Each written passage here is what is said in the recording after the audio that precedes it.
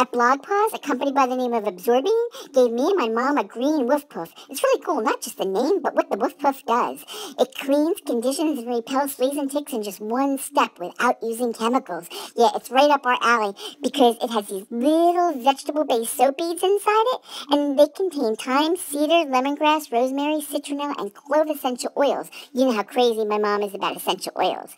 And all you do is lather up the puff, and then you scrub your dog with it, and you leave the lather on like I'm wearing it now, and in five minutes you rinse it out. It doesn't leave any funky residue or anything like that. And it'll last about 15 washes, and guess what? All of those essential oils will help repel mosquitoes too. Yay! So, it'll MSRP for just about $10, and Tractor Supply will carry it along with some other pet outlets. So keep an eye out for it, and stay tuned. My mom will show you how to care for your woof puff.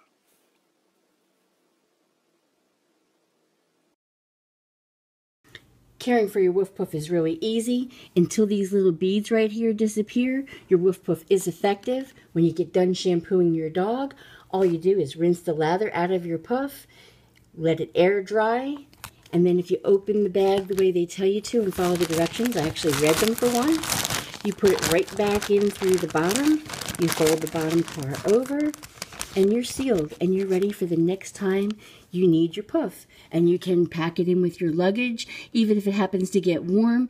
The beads might get a little soft, but they're not going to break down completely. They do make one in a blue color, and that's for odors, like skunk. Yeah, so if you're going to go on a hiking trip or something like that, you might want to pack the blue one along with it.